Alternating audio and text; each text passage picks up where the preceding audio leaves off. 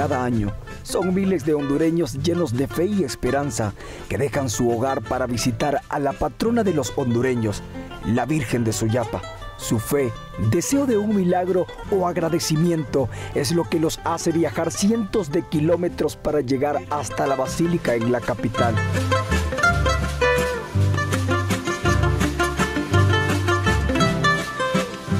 Tal es el caso de este joven que a continuación te presentamos.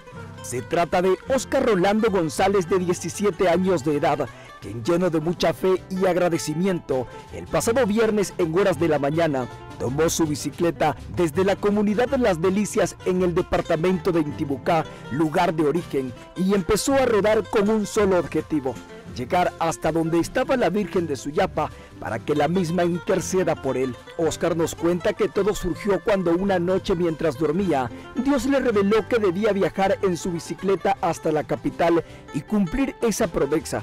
Desde ese entonces en su mente estaba el querer hacerlo, hasta que llegó el gran día de salir en busca de la Virgencita. Este año iba a venir, eh, eh, especialmente ya era una misión que cumplir, que era sí o sí, tenía que venir en bicicleta, sea como sea, pero era un honor para ella, porque ella es la intercedora de nosotros los pecadores. No es ella la que salva, pero es intercedora. La que salva es nuestro Padre Celestial, pero ella es la quien intercede.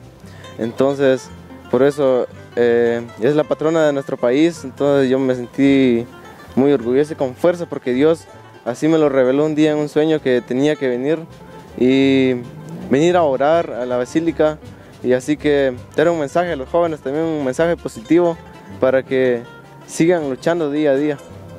Fueron más de 24 horas las que este creyente viajó y entre más pedaleaba su sueño se acercaba. No solo conocería a la basílica por primera vez, sino también cumpliría su promesa.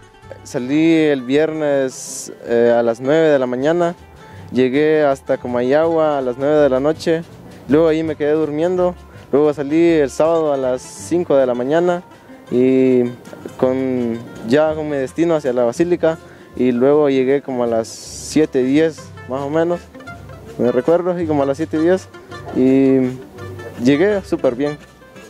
A pesar del cansancio, el sueño que Dios le reveló y deseo de conocer a la morenita lo motivaban cada segundo de su largo viaje. Bueno, yo, yo siempre venía motivado en el camino. Eh, hubieron momentos también que es una calle muy peligrosa, así que, pero como le digo, gracias a Dios no pasó absolutamente nada. Hoy estoy aquí y con muchas bendiciones. A las 7 de la noche del pasado sábado, Oscar cumplió su sueño.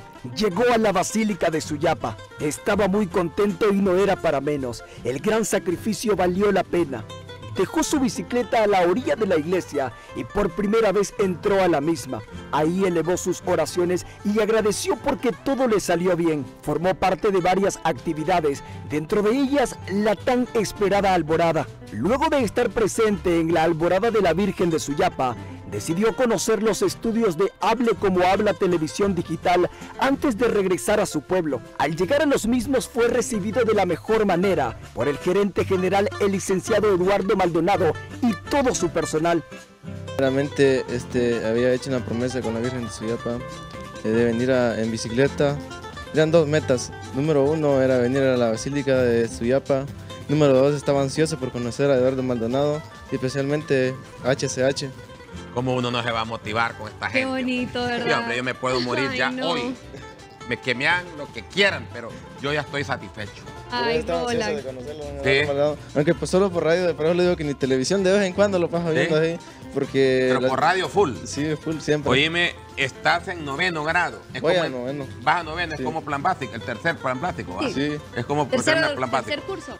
Don Eduardo, al escuchar la historia de Fed y ver que la bicicleta en la que había viajado no estaba en óptimas condiciones, decidió regalarle una nueva y más moderna para sus futuros viajes.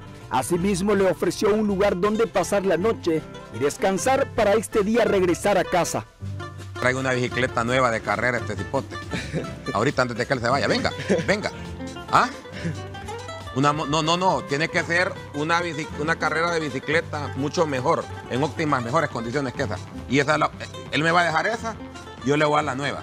¿Le parece? ¿Está de acuerdo? Sí, que le- Roland? y antes de que termine el karaoke le entregamos. Él no venía a pedir bicicleta. Él nos traía esto, mire. Pero no se va hoy, ¿verdad? No, no, que hoy se la vamos a entregar. Pero no se va hoy. No. No, No se va hoy, pero no hoy, se- por eso le digo, pero hoy lo vamos a despachar nosotros. Ok. O sea, que vayamos ahorita, con- váyase con un compañero ahí, pum, y tráigamele una buena bicicleta a este cipote. Miren la que se vino. No, este, mire, este, este en noveno grado. Raye la tarjeta ahí. ¿Y hoy a dónde se va a quedar durmiendo? Pues si no hay ningún otro lugar en la basílica. No, Porque- nosotros le vamos a dar a dónde quedarse durmiendo hoy. hoy. Bueno, Hoy. gracias. Y no, pero si quiere estar en la basílica un buen rato, y él vino ahí a... Sí, eh, No, y después se va a dormir, si va a andar en chopper nueva. Me va Para finalizar, aparte de su agradecimiento, Oscar envía un gran mensaje principalmente a los jóvenes, demostrando con su digno ejemplo que con fe todo se puede lograr. siempre tengan primero a Dios en su corazón, porque sin Él somos absolutamente nada. Si Él no hubiera hecho posible todo esto, no estuviera acá. Así que por favor reflexionen, que oren día a día, porque en este mundo estamos expuestos a tantas cosas que sin, sin Dios no somos absolutamente nada. Con imágenes de Gerson López y la edición de José Álvarez, para HCH Noticias, Quique Vázquez,